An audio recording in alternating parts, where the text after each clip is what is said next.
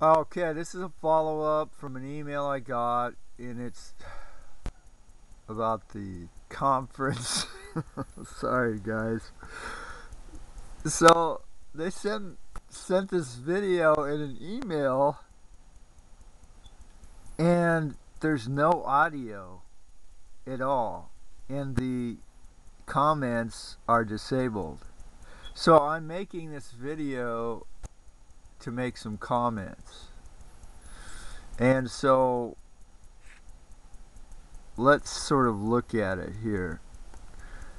So once again, there's no audio and we go over to this laboratory and look at this oscilloscope. And so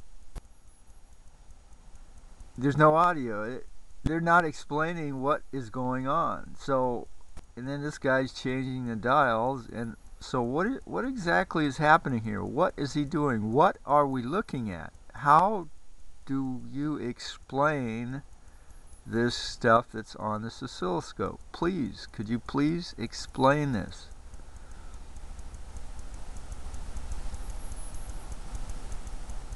And I'm going to leave my comments open so you can comment there or add an audio to this video and explain what we're looking at here. Thank you.